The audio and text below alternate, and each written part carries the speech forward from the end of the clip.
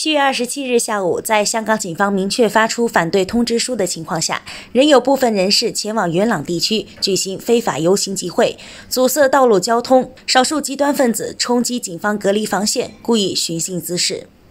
此前的七月二十一日，在元朗地铁站，有人与示威者发生冲突，随即示威者在网上扬言要进行报复活动。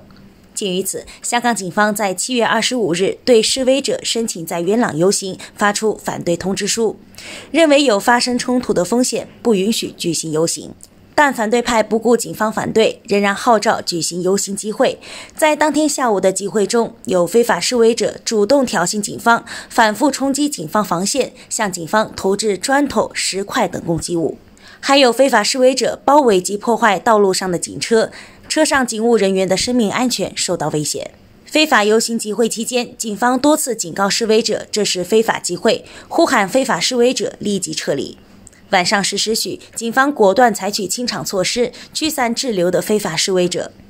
在执法过程中，面对挑衅，香港警方始终保持克制，依法处置，专业理性，表现得当。香港警方再次重申，有关人士已经违反香港公安条例中参与未经批准集结的罪行，最高刑罚是监禁五年。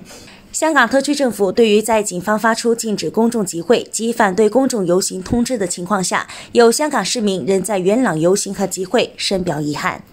特区政府发言人表示，虽然游行及集会属违法，为确保安全，政府在七月二十七日当天已经做出一切可行部署，包括特别交通安排。发言人指出，游行后部分激进示威者暴力冲击警方防线，破坏警车及堵塞街道，政府对于示威者蓄意破坏社会安宁、挑战法律予以强烈谴责。警方会严肃跟进参与暴力行动的示威者。